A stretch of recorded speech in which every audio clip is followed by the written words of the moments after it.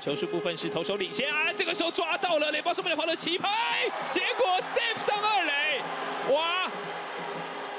其实这个球是有发现呢，他是要牵制一垒，但是一垒之后再传二垒的时候，传稍微高了一点点，加上张志豪的速度也够快，上了二垒垒包。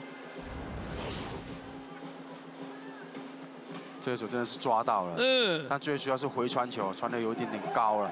所以让进来补位的野手，他必须要做这种比较高吊起的一个动作，再拉下来，时间当然是比较慢的。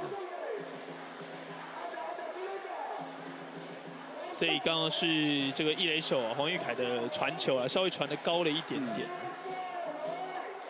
黄金志其实呃已经成功的吊中了，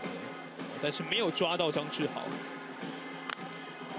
这个球出手打到的是在中外野方向的飞球，中外野手横移过来就定位，接杀出局，留下二垒的残垒没有得分，目前双方还是两分差距。